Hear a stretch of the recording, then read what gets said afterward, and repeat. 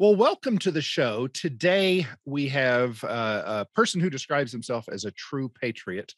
Um, eh, this person represents the EAA, and I'll let him tell us a little bit about uh, that organization and what they do. So, tell me about this Enforcers Association of America. What uh, what are you about? What we do is we basically, and I'll just put this in a nutshell: we blindly support law enforcement and military. Let's just let's just be straightforward about it. We support them. They've got a tough job and we're going to do whatever it takes. Are they perfect? Of course they're not perfect. Do we care? Of course we don't care. I mean, we we support them blindly. I, that's the only way to put it. These guys are putting their lives on the line, and for that, they they deserve some leeway. And and we're here to stop the news media from harassing cops for for those few cops that do their their job a little bit wrong by choking someone and killing them on accident or trying to send these guys to prison when them and their partners are out there uh, on the lines every single day fighting for our freedoms.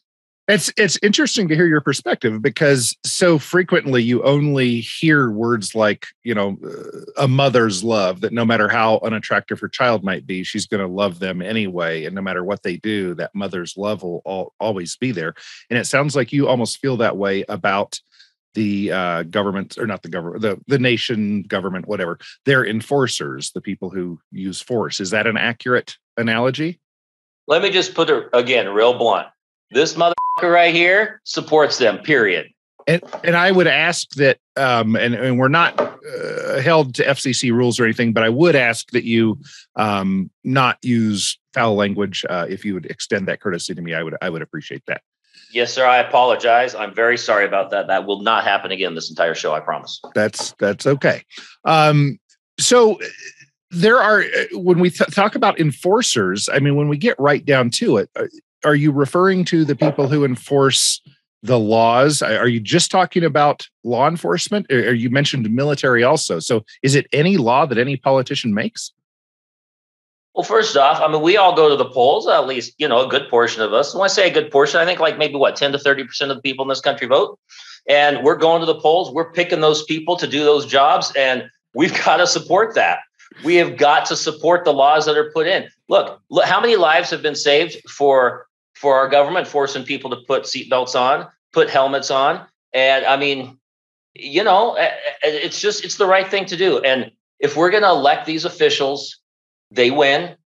They're the ones who get to make the decisions for us. And let's be honest, we really don't need, or I don't have the time to make my own decisions. I don't have the time to go start making up laws to throw people in prison for, for, you know, having a joint on them in public. And if these guys that we vote in are, they're elected, we need to support them. And we have those enforcers in this country to make sure that those politicians stay in power and that their laws are continued to be pushed through and supported and enforced.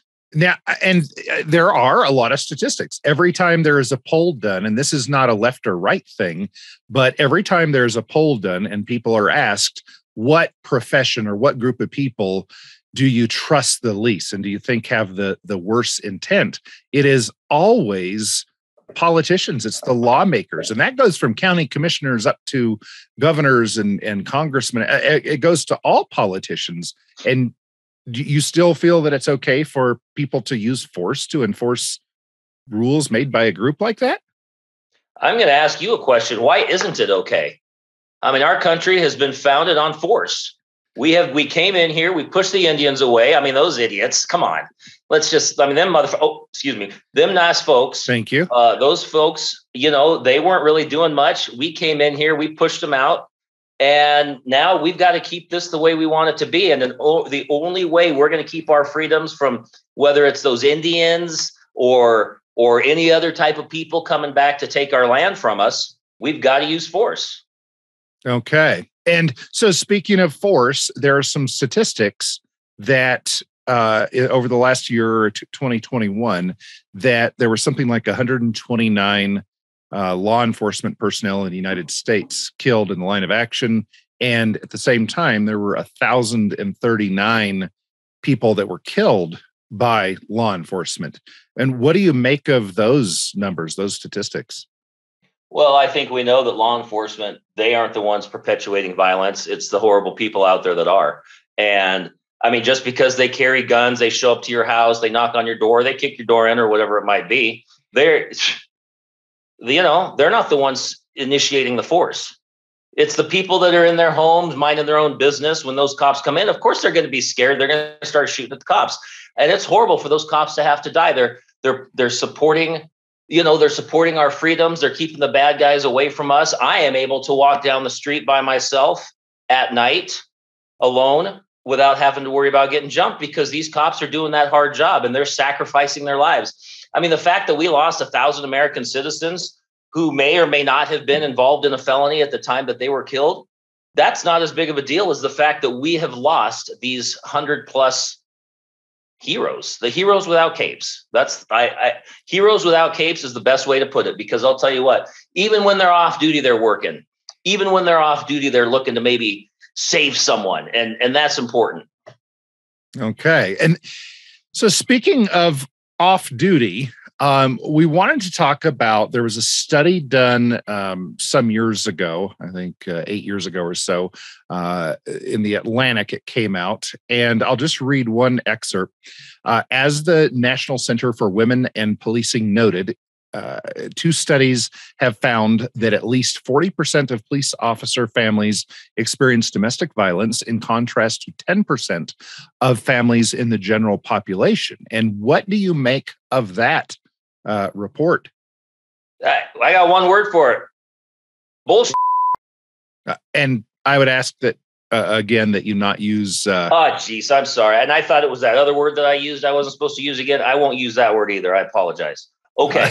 It's it's just malarkey. Is malarkey okay to say these days? Because yes. here's the thing: uh, when we go to war in other countries, sometimes we bomb the wrong c- little cities and towns, and sometimes these kids and and and women they get bombed and they die.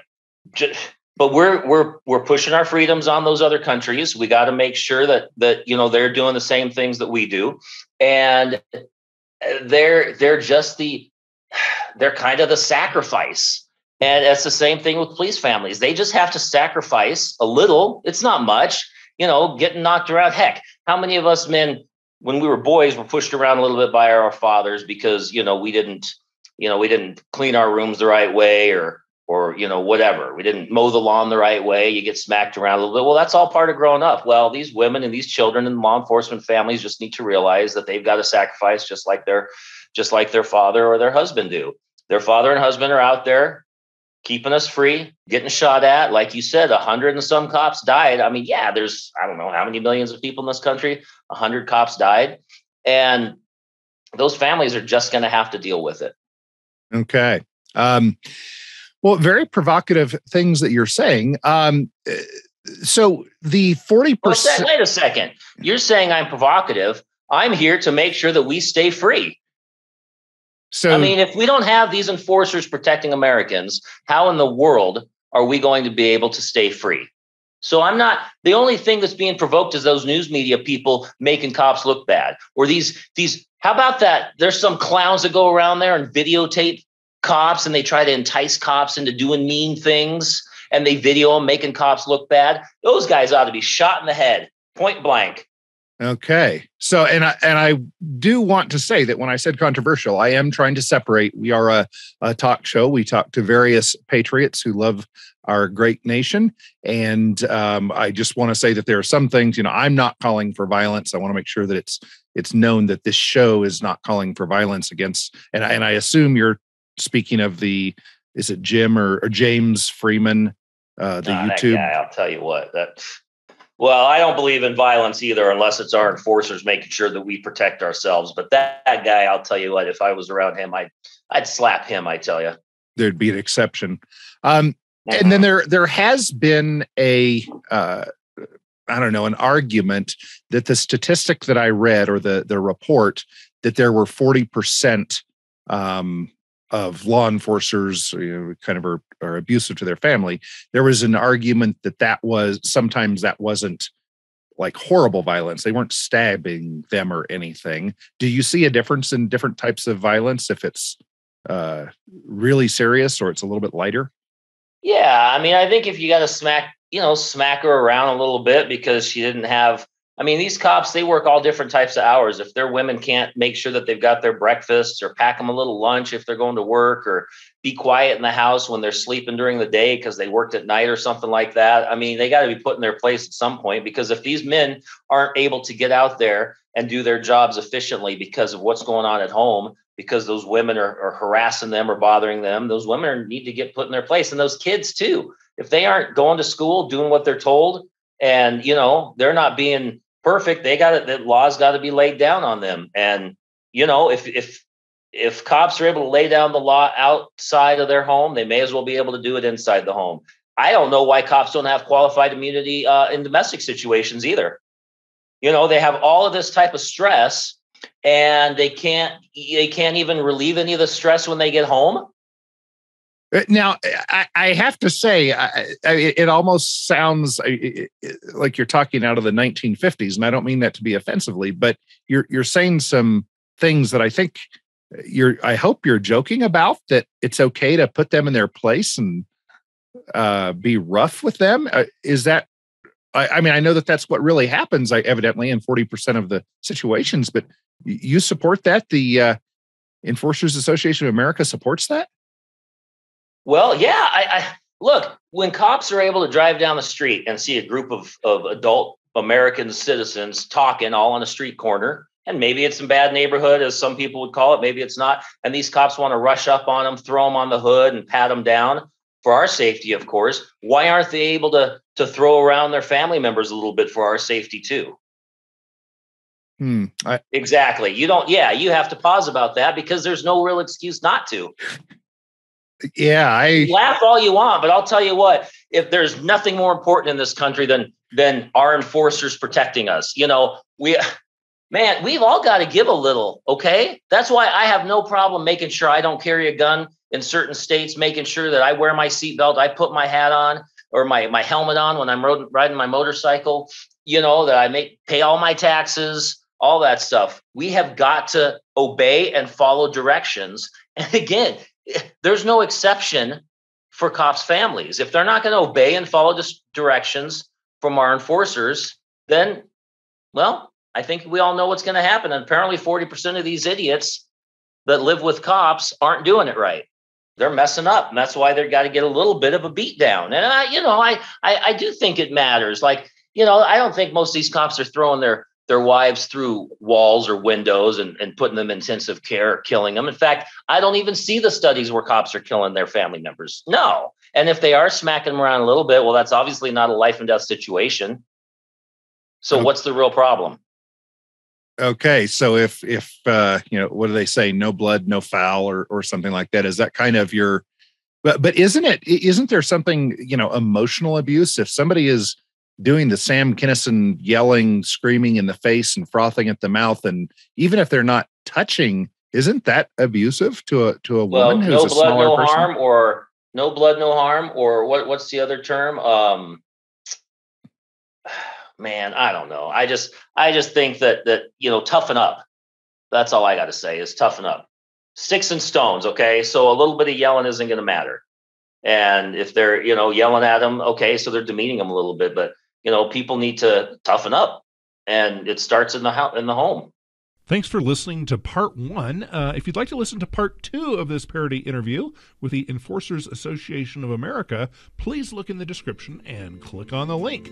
Hey, if you'd also be willing to give us a thumbs up and subscribe, that would be great as well if you're enjoying this content. We'll have more for you.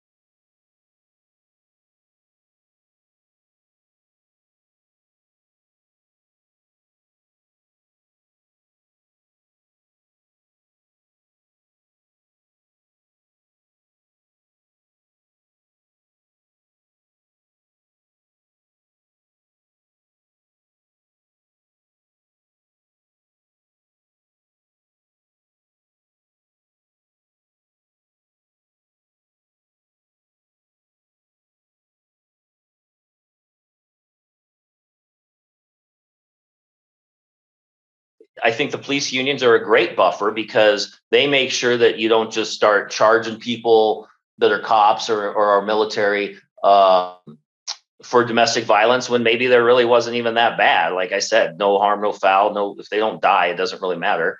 And so these these unions are able to make sure that they don't um, that they don't just get railroaded, and that they're all of their rights are protected too. You know, they've got extra rights that they need to have as police officers. You know, they need to be able to um, you know push the line a little bit and sometimes they get caught pushing the line and that's when they need the protection because they're doing it for a reason. And again, we're too, you know, I have so much respect for our enforcers because I got other things to do. I don't have the time to go out there and protect this country. And they do, and they need to have some leeway. And those unions are really able to protect them. Again, they're they're doing one of the hardest jobs in the country. I know people will say, oh, well, more people die from, you know, collecting the trash or or electric telephone line people or something out there you know have dangerous jobs. But no it's it's the enfor- our enforcers have the most dangerous jobs. You know they're fighting a war outside their house and inside their house. Because i'll tell you what there are some families out there that don't support the cops that live in their households. And and that's why those cops need to be a little bit more heavy handed and and expect the respect that they deserve. And and again fortunately these police unions are able to help with that as well. Help help the courts or or the the department they work for understand that these guys are under a lot of stress. Sometimes they got to blow off some steam. Sometimes steam looks like a smack smacking the old lady around or something and you know putting her in her place making sure that those kids are are doing exactly what they're told and not having the freedom to of choice uh, in the household because these enforcers know what they're doing. Okay. Um, and again, I'm no part of of what our guest today is saying is necessarily the opinion of this talk show or the network. Well, I'll tell you, it ought to be. Well, I understand. To be everyone's your... opinion, and that's what we're pushing for at EAA. Everyone needs to be supporting our cops this way.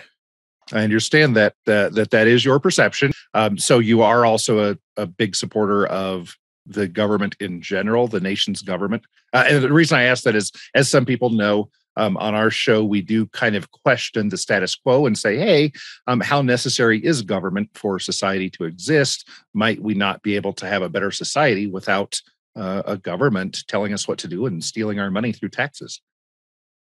Yeah, you know, I mean, again, let's go back to these Indians. There wasn't a government when the Indians were running this place, and they were just make you know making a mess out of it. They were killing buffalo and and living in tents. And now we've got now we've got you know cities, we've got planning, we've got roads and highways, we've got infrastructure. Uh, yeah, I mean, we pay some taxes for it, but who cares? I mean, you know, if you figure it out, we're uh, probably when you start looking at all the taxes from all the angles, seventy percent isn't too much to pay for freedom of every dollar that we make. 70 cents on every dollar that we make is not is not too much to pay for freedom. And throwing some of that money towards the enforcers is absolutely very important. They they need to know that uh, that we support them on every level including through our money. And as far as our government goes it ain't going to work any other way. We just got to accept it. There's no other there's no other way. And yes yes i'm libertarian leaning because I don't like, well, there's really not much I don't like about the government, but there's sometimes they'll do something wrong. And, and I just don't like that. And that's why I'm a libertarian. But we got to keep voting. We got to keep making sure that uh, we give these enforcers as many rights as we can. And I tell you, that qualified immunity stuff is some of the best stuff out there. And the fact that we could kind of, kind of, mm, make the Constitution a little more pliable to support our enforcers and make sure that they're able to, you know, kick doors in just based on on on their gut feelings and things like that. That's important because that's what's going to keep us safe. And the politicians that we elect need to make sure that they blindly support our law enforcement officers too. Okay, some some strong opinions. Um, I'm going to read something that I saw on uh, the EAA's uh, social media. Okay, let's hear it. Okay. Uh, currently every single complaint that is filed against an officer winds up stressing the cop out even more.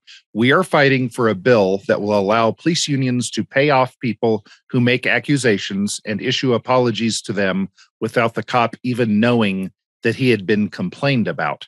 And uh, when I read that, I thought, well, is this that kind of ruins the point because then the officer won't be able to realize what they did wrong and fix it in the future. Um, is that your position? Yeah, I, of course it is. I think that um, why bother these these hardworking enforcers with minimal things? Most civilians lie anyway. Most civilians just make stuff up, and there's no reason to mess with these cops. They've got other things to do. They're trying to keep their family in line. As we know, 40% of them, it's a tough job for them to keep their family in line.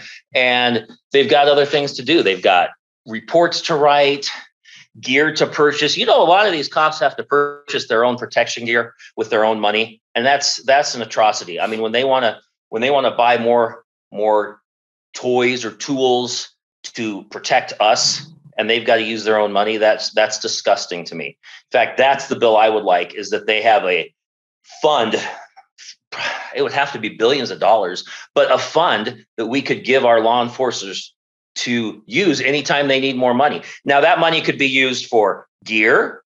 That money could be used to help them with with legal defenses when they are accused, wrongly accused of messing with the public or messing with their own family members.